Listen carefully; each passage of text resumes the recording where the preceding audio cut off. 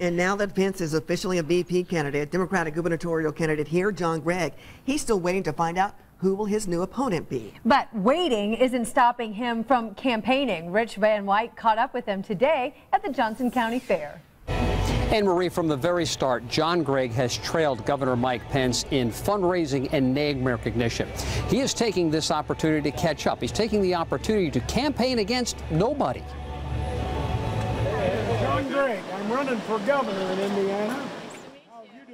It appears as if Gregg didn't need much of an introduction. Most people knew who he was. Gregg is pitching his message of better paying jobs, better roads and bridges, better schools, and better ways of combating Indiana's growing drug problem in a county that is overwhelmingly Republican.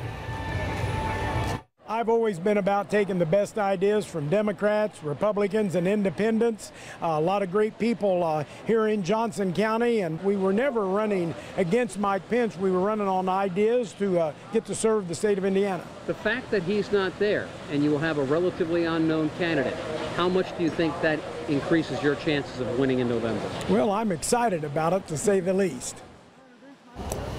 Wow, that's one of the biggest smiles I've seen on the campaign trail.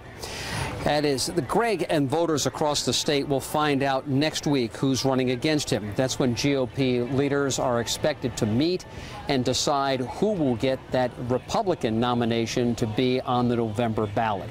Ann and Andrea?